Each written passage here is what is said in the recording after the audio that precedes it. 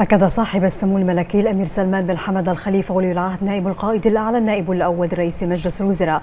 أكد أن مملكة البحرين تسير وفق رؤية واضحة نحو تحقيق مزيد من الإنجازات في إطار مسيرة التنمية الشاملة بقيادة حضرة صاحب الجلالة الملك حمد بن عيسى الخليفة أهل البلاد المفدى. حفظه الله ورعاه.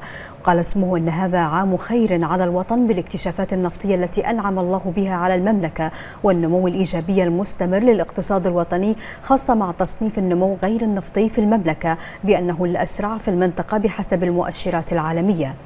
أشار سموه إلى أهمية الاستثمار في الخير القادم للمملكة بوعي لصالح أبناء الوطن والأجيال القادمة. فالمملكة مقبلة على عامين حافلين بالعمل من أجل مواصلة تعزيز بناء الاقتصاد الوطني الذي يقوم على هيكلة صحيحة وأساس قوي. مضيفا سموه أن الجميع مسؤول عن الإنجاز فبتكاتف الجهود المخلصة ووضع مصلحة البحرين أولا. سوف يستمر تحويل التحديات إلى فرص يمكن استثمارها في بلوغ الأهداف المنشودة.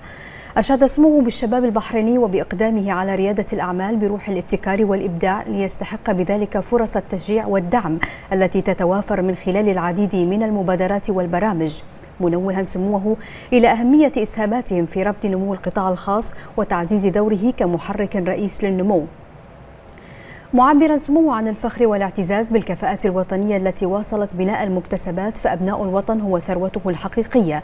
جاء ذلك لدى زيارة سموه حفظه الله إلى مجلس خالد الشريف ومجلس عائلة كازروني ومجلس أبناء المرحوم راشد عبد الرحمن الزياني حيث بارك سموه لأصحاب المجالس والحضور بالشهر الفضيل الذي تزدان به المجالس البحرينية برونق خاص تتجسد فيه الهوية البحرينية الأصيلة التي يزيدها التنوع قوة.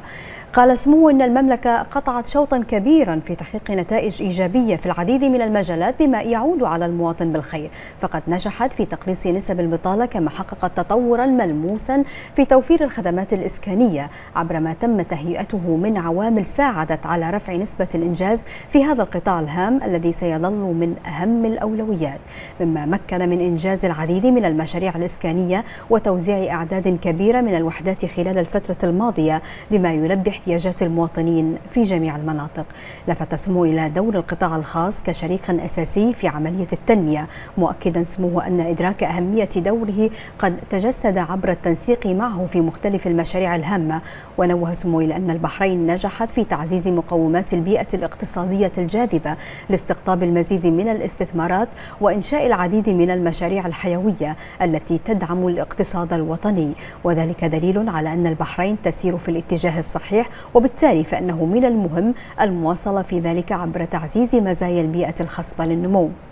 مشيرا سمو إلى أن ما تعمل المملكة على تنفيذه حاليا من مشاريع استثمارية كبرى تقدر ب 32 مليار دولار أمريكي والتي منها مشروع توسعة مصفاة البحرين كأكبر مشروع في تاريخ شركة نفط البحرين بابكو. وكذلك مطار البحرين الجديد إضافة إلى خط السهر السادس في ألبا وغيرها الكثير التي ستعزز من دور القطاعات الاقتصادية الرئيسة في المملكة عبر جذبها للاستثمارات العالمية والإقليمية. تعمل على تنويع مصادر الدخل ورفض التطوير المنشود بالأثر المستدام على الوطن والمواطن.